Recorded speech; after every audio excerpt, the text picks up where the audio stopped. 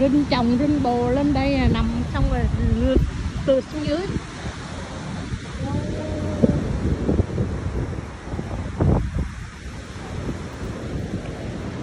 Ý nó nói nó đậu xe chết á